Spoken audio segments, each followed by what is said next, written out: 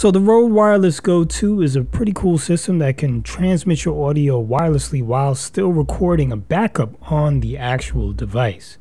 Now, I was about to purchase this system, but a company by the name of Mirfak reached out to me and said, "Hey, you want to try ours?" And I said, "Okay." Stay right there. You're going to want to see this.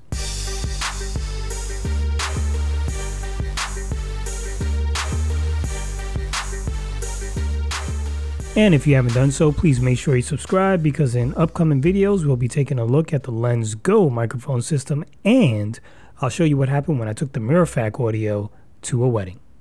And affiliate links for the Mirfak audio system are down below in the description box. And any equipment that was used to create the video is also down in the description as well. So going back to the Rode Wireless Go 2, like I said, you can record audio and wirelessly transmit your audio to your camera at the same time. The only problem with this system is it does not use an SD card. When you record the audio, it's being recorded directly to the to the device. Not that big of a deal until you have to then take that audio file, put it into Rode's software on your computer because it is not an MP3 or WAV file. So you need that software to export it as an MP3 or WAV file. Then you can use it. And that's where the Mirfak comes in because this does use an SD card and you can do a backup recording to the SD card in a WAV file. And when you're done, you just put that card into your computer, your laptop, take it off, and then go ahead and use it however you need to use it. So the WE10 Pro comes with the two transmitters and one receiver. And the receiver is a pretty simple unit. You attach it to your camera using the clip. It fits right in there into your cold shoe, slides right in. And then on the sides, you have your gain control. You have a mute button, and then you also have a low cut filter, which will help you reduce wind noise. And it, it comes with various settings for that. On the other side of the unit, you have a headphone out, and then you also have the output that will go to your camera, or they also provide you a cable that will work for your cell phone. And when it comes to the transmitter, uh, on one side you have a microphone input, so you can plug a microphone into this, and it does come with two microphones for each transmitter.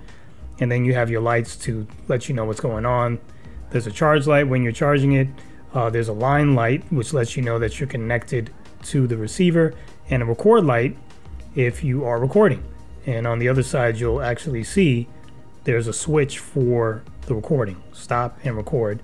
And then you have your card slot for your SD card, micro SD, up to 32 gigabytes. And then there's also the port for your USB cable to charge it. Now, just in a second, we're going to be doing a range test on the unit so you can see how it performs at longer distances and toward the end of the video, I'm going to share a little problem that I found out about this particular microphone.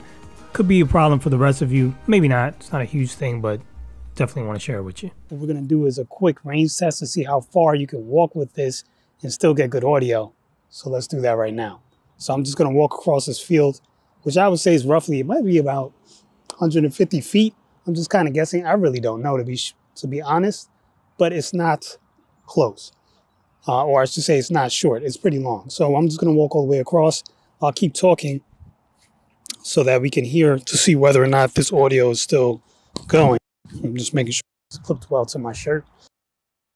I'm just to keep on walking. Right now I'm roughly about, I don't know, 40 feet away. We'll keep on walking. And right about here, probably about I'm walking back here, about the 60 or something, 70 feet, 75 feet, I'm not sure. Going, and I'm going to walk, walking, walk. So we're just going to pause right here. Now the audio that you're hearing is just coming from my little studio mic, not the Mirfak audio. I just wanted to say that what's happening here is because my back is turned and this is a 2.4 gigahertz system and you need clear line of sight, I think my body is blocking the frequency, so it's cutting in and out. So we'll fast forward to the point where I'm all the way at the end of the field and I'm walking back, and the unit is actually facing the receiver. It's not close. Here I am all the way down here. Not sure if you can still hear me as I'm walking back, but I'm gonna stop right about here because this is a good distance. Because really what I bought this for is uh for shooting weddings. I thought it would be nice to have something that I can use to wirelessly transmit the audio and at the same time have a recording on a card because that's always nice to have. So that's why I bought these. And honestly, I'm not, I'm lying because I didn't buy this unit. This unit was sent to me by Mirfak. I actually didn't pay for this. They wanted me to test it out. So this is me testing it out. I've already took it to a couple of weddings already. Um, and I did have some problems with it. Nothing too major. For the most part, it does work pretty well. But we'll get into what those problems are in a moment. So now I'm walking back. Now I'm about, I don't know, I'm back to about 50 feet away. So we'll listen back to it to see if I was getting audio that whole time and whether or not I got any cuts in the transmission. But here we are at a realistic range. When I'm shooting a ceremony, I'm probably about this far away from the bride and the groom as they're down the aisle. So this is like 30, 40 feet. This is typically where I am. So this is really the only range that I normally would need. Sometimes I would be a little further further back if I was shooting a church ceremony and I was shooting up in a balcony. Sometimes. So there it is. So here it is, and uh, let's see what the audio sounded like. So there we go. So now let's just talk a little bit more about this unit. I'll give you some more information about it.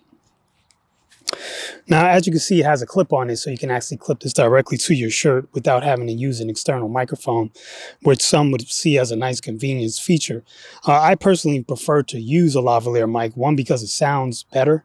You can kind of pick a good one if you want and get some really good audio going into your recorder. But not only that, it's smaller and less distracting. So, um, especially when I'm shooting ceremonies and, and whatnot, and I, I pin this on a, uh, a groom or an officiant, they're usually wearing some type of jacket, and I can pin it on there, hide it under a boutonniere or whatever, and you don't even see the mic.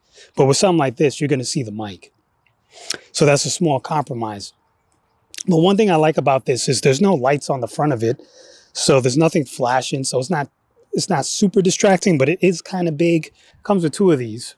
So I bought the unit that came with two transmitters, and it comes with two microphones um, just so you can hear the difference in the audio. I'm going to use this microphone uh, so you can hear what it sounds like. Now, keep in mind, this is the mic that came with the unit. Um, so, you know, it is what it is.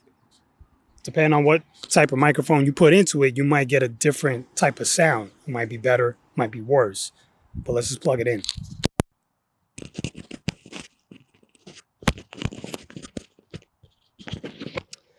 All right, so now I plugged in the mic.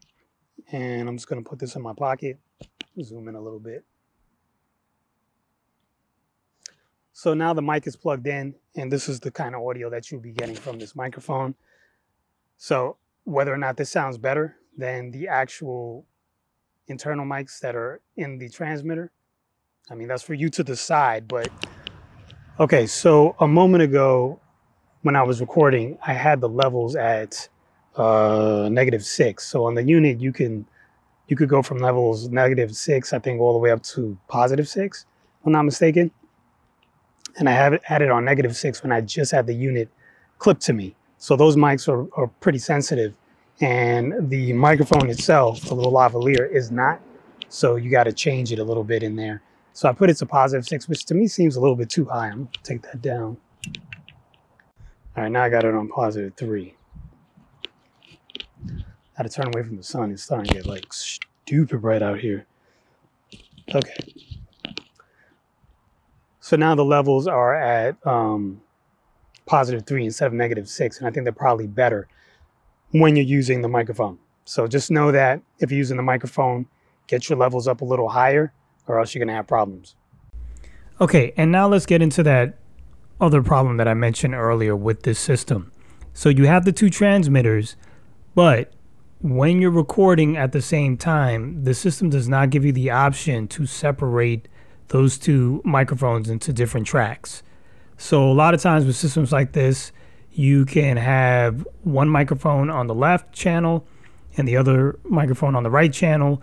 And then in post, you can, and when I say post, I mean when you're editing, you can separate those channels into um, different tracks and you can control them independently. With this system right now, as of the time of recording this video, you do not have that option. Okay, we made it. So we're at the end of the video here. Please make sure you subscribe. We're going to take another look at the Mirfak audio system and we'll see how it works out in the field at some weddings. And also, we're, we're going to be taking a look at the Lens Go audio wireless system as well. And we'll be taking a look at the Insta360 One R. As always, I'm Mike Turner. Thanks for watching, and I guess I'll see you soon.